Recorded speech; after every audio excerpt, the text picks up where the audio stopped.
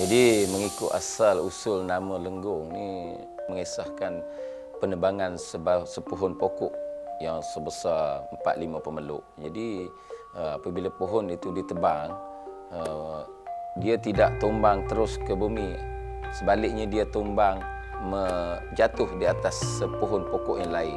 Maka pohon pokok itu tadi terlanggung di atas sepuhun pokok yang lain sehinggalah kekal beberapa lama akhirnya tempat ini dipanggil langgung dan apabila lama kelamaan bila uh, wujudnya pemerintah ada pemetaan di masa itu daripada perkataan langgung tadi menjadi lenggong dengan dialek orang putih yang datang mengatakan oh, orang putih tak pandai menyebut mengatakan uh, langgung bila kita kata langgung dia akan berkata lenggong daripada perkataan lenggong itulah menjadi kekal sehingga sekarang ni tapi orang Melayu tetap menggunakan perkataan lenggong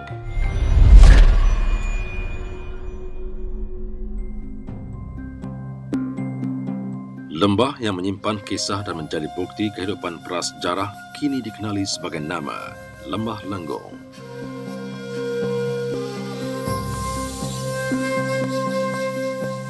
Selepas berjuta tahun berlalu, satu kegiatan ekskavasi dijalankan dan hasil penemuan serta kajian arkeologi di kawasan Lembah Lenggong telah berjaya menempatkannya dalam senarai tapak warisan dunia oleh UNESCO.